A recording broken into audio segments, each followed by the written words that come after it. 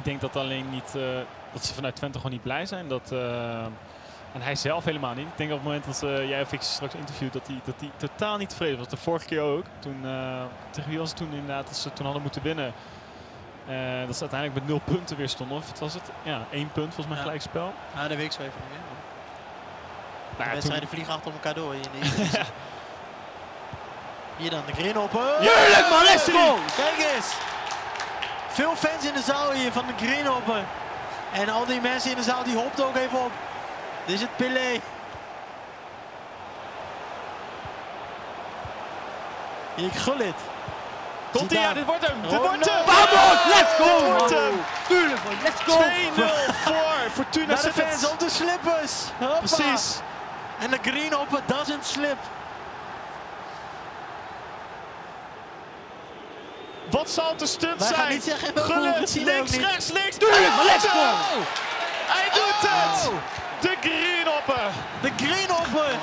Oh, dit is mentaal. Dit is zeer mentaal.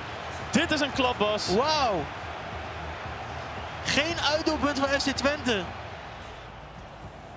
Fortuna, één uitdoelpunt en je kan wel stellen dat het eh, klaar is in ieder geval.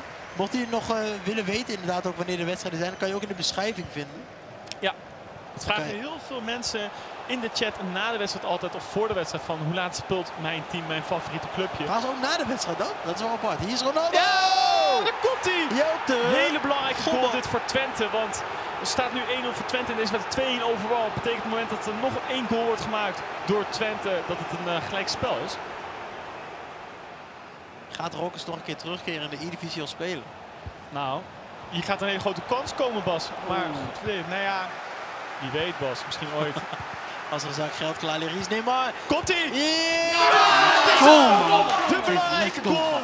De belangrijke uitgoal voor Fortuna. En ja, hiermee is de wedstrijd beslist. Dat betekent dat Twente nog drie goals moet maken. En dat zie ik niet gebeuren. Laatste aanval van deze potbas. Gaat er nog gescoord worden? Neymar, oh kijk eens.